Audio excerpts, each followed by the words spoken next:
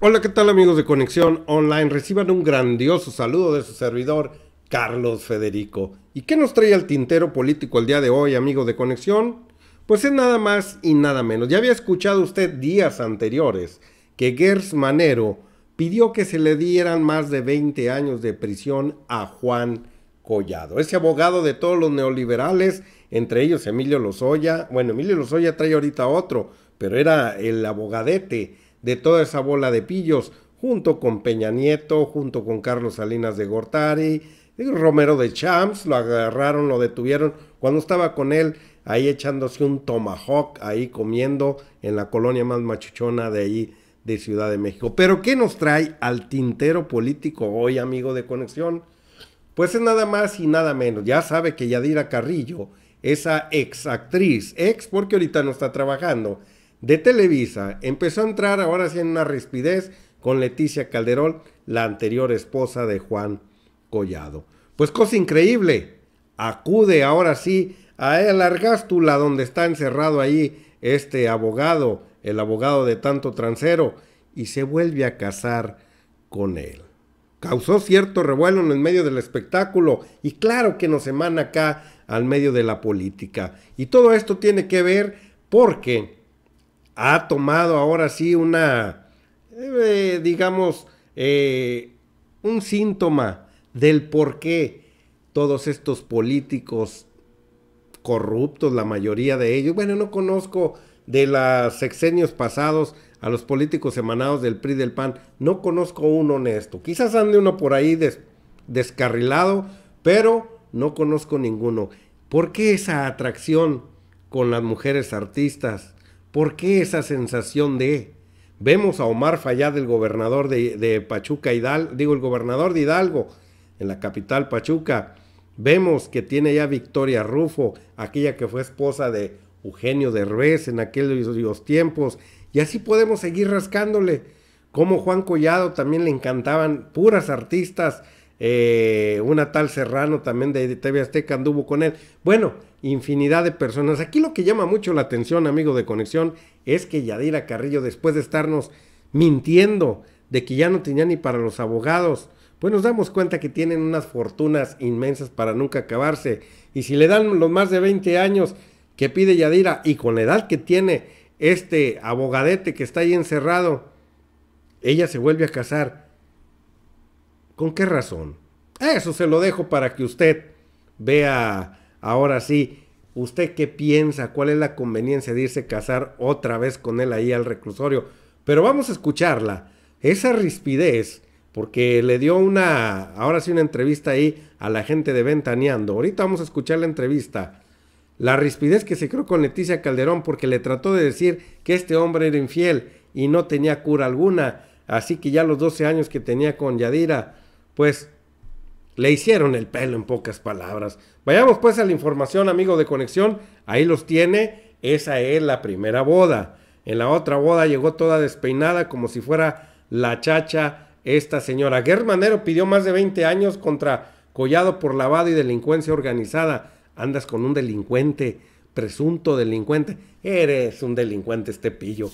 La actriz Yadira Carrilla, originaria de Aguascalientes, demuestra que su relación de pareja con el abogado Juan Collado es más fuerte que nunca y en la entrevista con Ventaneando cuenta que renovó con él sus votos matrimoniales. Yadiro Carrillo volvió a casarse con Juan Collado esta vez en el reclusorio norte de la Ciudad de México donde él se encuentra preso ya que es acusado de lavado de billetes y asociación ilícita tiene Juan Collado. Vayamos pues amigo de conexión ahora sí a la entrevista que le hicieron aquí a Yadira Carrillo, los hombres de Ventaneando. Vamos a ver la entrevista que dijo para que usted saque sus propias conclusiones, amigo Conexión. Ahí la tiene en pantalla, vamos a escucharla. Yadira Carrillo reacciona a las temerarias declaraciones de Leticia Calderón, asegurando que su ex Juan Collado es un hombre irremediablemente infiel y que incluso en la boda de su hija Mar habían estado presentes varias de sus conquistas actuales. Siempre va a haber personas que van a querer lastimar y que así ha sido desde hace 12 años.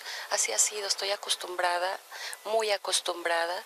Si ustedes recuerdan, esto ya lleva muchos años, desde hace 12 años. Están este tipo de comentarios. No, no me lastiman porque los tomo de quien vienen.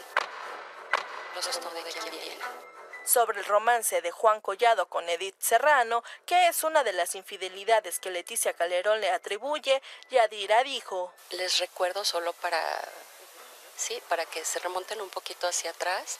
Sí, cuando yo conocí a Juan, Juan ya había tenido una novia. Ya había terminado su relación con la señora y luego ya tuvo una relación preciosa con Edith Serrano, que quiero y respeto y me parece preciosa, guapísima y que la conozco y, eh, coincidimos alguna vez en Bale con Juan y yo, estábamos en Bale y la vimos ahí y me acerqué a saludarla y nos saludamos, una dama hermosa. Entonces nada más les recuerdo que cuando Juan termina su relación, después es novio de, sí, de ella, de TV Azteca justamente, la recuerdan, preciosa de Edith. Y entonces terminan y luego todavía pasa un tiempo y luego lo conozco por mi amiga Dani Castro. Sí, coincidimos en un restaurante y ahí me presentó con un grupo de gente más en una mesa muy grande, que él, él estaba en esa mesa. Y luego todavía pasaron otros seis meses cuando Juan me llamó de nuevo y me dijo, oye, ¿puedo invitarte a desayunar o lo que tú quieras? Le dije, estoy haciendo novela, no puedo. Qué lindo, te agradezco. Y así un mes oye, te puedo invitar a comer, estoy en la novela, no puedo. Y luego otra vez, bueno, a cenar, bueno, lo que tú quieras. Yo es que estoy haciendo novela, no puedo. Entonces sí pasó muchísimo tiempo. Por eso es que no entiendo por qué cuando yo empecé a andar con él se mencionó todo esto, ¿no? Por, no sé, hasta la fecha que alguien me lo explique, por favor. No sé si fue cosa de quién. No, sé si fue cosa, de, quién. Quizá a, Leti una tregua para ustedes platicar, conocerse. No, porque ya ha habido oportunidades y siempre que yo la veo cuando falleció la abuelita de Juan y todo esto, este, yo la abrazo la abrazo y le digo, ¿cómo estás? Tus niños están preciosos, eres una mamá preciosa, te admiro, te felicito. Si necesitas algo, cuentas con nosotros siempre. Mi casa es tu casa, este, cuentas conmigo. Eh, o sea, sí, yo sí lo he hecho muchas veces y lo seguiré haciendo toda mi vida porque así soy yo. Porque así, soy, yo en una siguiente entrega, Yadira refrenda que su amor por Juan Collado es a prueba de todo y revela que acaban de refrendar sus votos matrimoniales. ¿Me volví a casar con él aquí adentro?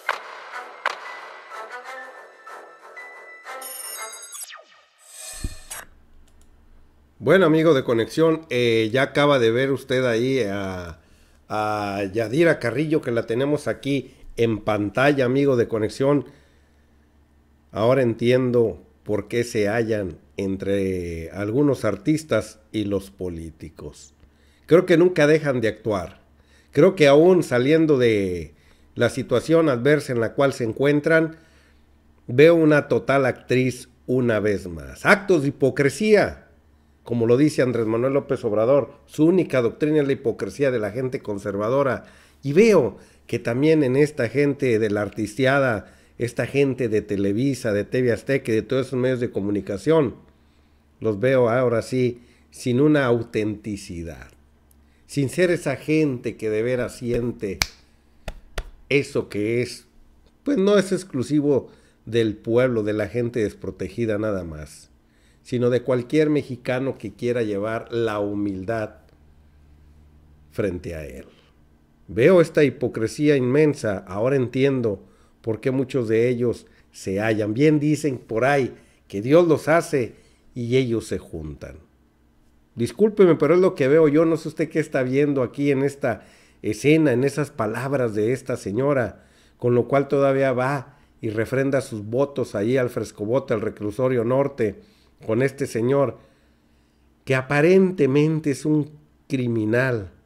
Creo que ya nada más falta que se lleve los procesos debidos para poder constatar que lo es. En las buenas y en las malas, dicen por ahí. Eso se vale, eso es bueno también. Pero veo también de la otra parte que se comportan y que están cortados con la misma tijera. Pues amigo de conexión, ahí tiene usted en pantalla. Y una de las realidades del señor Juan Collado es nada más y nada menos que el abogado eh, de Juan Collado podría enfrentar, el abogado Juan Collado más bien, porque él mismo se ha de defender este bandido, ¿verdad? Podría enfrentar una pena de hasta 20 años de prisión. Si es que prospera la petición de la Fiscalía General de la República, comandada por Gers Manero, quien lo acusó formalmente de los delitos de delincuencia organizada y operaciones con recursos de procedencia ilícita.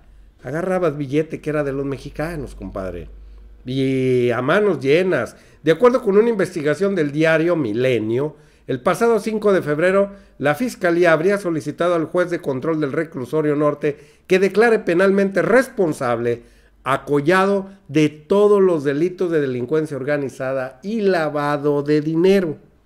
Libertad de Servicios Financieros, empresa de Collado Moselo, allá el Grupo Libertad, alguna vez fue ahí, hace transferencias financieras de manera reiterada al exterior como España, Andorra, donde le hallaron mucha lana a este pillo, y otras partes de Europa sin comprobar la procedencia de esos recursos, existiendo la duda de su procedencia, de dónde venía tanto billete, pillo. Bueno, ya lo han dicho unos de tus trabajadores que llegaban las camionetas blindadas, ahí bajaban cajas y cajas de dinero en efectivo, ahí en la caja Libertad, para poder ahora sí lavar, ahí tenía la, la, lavandería, pillo. La fiscalía consideró que Collado se sitúa en un grado de culpabilidad superior a la pena mínima al tomar en consideración la afectación a los bienes. La circunstancia personal en la que se encontraba en el momento del hecho delictivo. El imputado es considerado por la FGR como un abogado de prestigio nacional, siempre de grupos sociales cercanos y personalidades al poder. ¿A cuál poder? Al del PRI, al del PAN y al hasta del PRD cuando se convirtió en un partido como lo es el día de hoy, en extinción, pero un partido burgués se volvió de repente. Collado fue detenido el pasado 9 de julio y actualmente está preso en el reclusorio norte de la Ciudad de México. Ya te aventaste seis meses, pillo. El tiempo pasa rápido. Quizás 20 años pasen en caliente y ya saldrás ahora sí con un bordón a querernos platicar una realidad. Pues amigo de conexión, ahí tiene usted en pantalla la farándula, se la traen a la política y la política se la llevan a la farándula y pues ahí andan como pelotas de ping pong de un lado para el otro.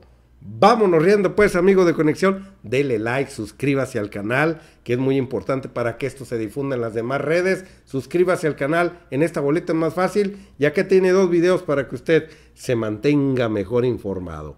Vámonos riendo raza, dele like, manita arriba, vámonos riendo.